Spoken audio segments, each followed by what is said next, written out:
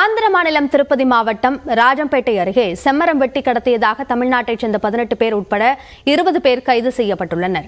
கூடுதல் விவரங்களை நம்முடைய செய்தியாளர் புஷ்பராஜிடம் கேட்கலாம். புஷ்பராஜ் கைது நடவடிக்கை குறித்த விவரங்களை பதிவு செய்யுங்கள்.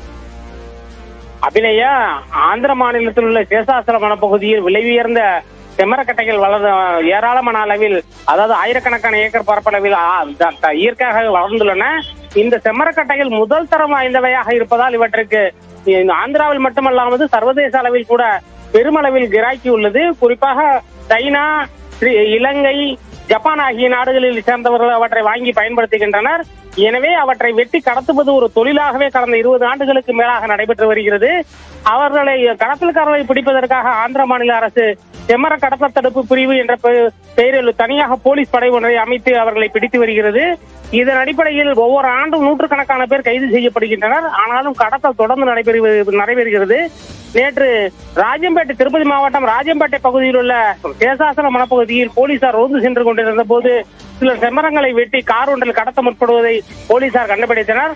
அவர்களை மடக்கி பிடித்து கைது செய்த போது அவர்களில் தமிழ்நாட்டின் திருவண்ணாமலை மாவட்டத்தை சேர்ந்த பதினெட்டு பேர் உட்பட இருபது பேர் இருப்பது தெரிய வந்தது. அவர்களிடம் இருந்து பதினைந்து செம்மரக்கட்டைகள் ஒரு கார் கோடாலி செல்போன்கள் ஆகியவற்றை போலீசார் கைப்பற்றி வழக்கு பதிவு செய்துள்ளனர் அபிநயா. விவரங்களுக்கு நன்றி புஷ்பராஜ்.